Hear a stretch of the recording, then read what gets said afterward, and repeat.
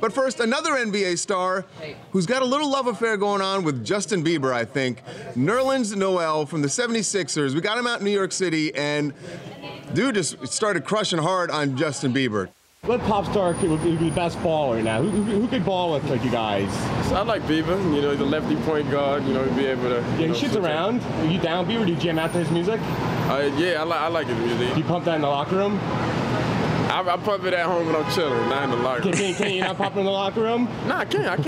Everybody- people respect Bieber. What what what songs can't you play in the locker room? I mean, we don't bump no Miley Cyrus and nothing like that. You know, all that pop. But you know, straight hip hop. Straight, Straight hip-hop. hip-hop. Oh, and Oh, Justin wow. Bieber. So did you notice when Nerlens, when we asked him, do you play it in the locker room? He goes, well, no, I play it at home. And then he tried to play it off like, oh, no, no, I could play it in the locker room. Yeah, everybody respects Bieber. Listen, I think a lot of people do.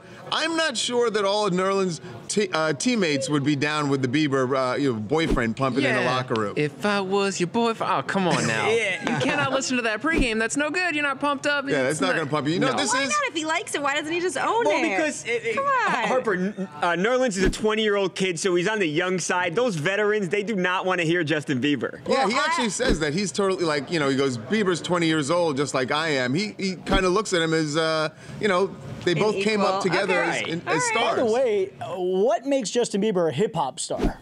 He, all his he new hangs songs are with, with a lot of hip hop people. Yeah, and all his new songs are with hip hop people. His last three singles, one is with Migos, the other was, was with Tyga, and then the third one was with Chance the Rapper. So if you had to classify, Yeah, if you had to classify Justin not. Bieber, you would say hip hop over pop. no, I would say he's an R&B singer now. His old stuff Yeah. is definitely pop though. don't know. It's kind of like hip-hop star by association. Listen, this makes it official, all right?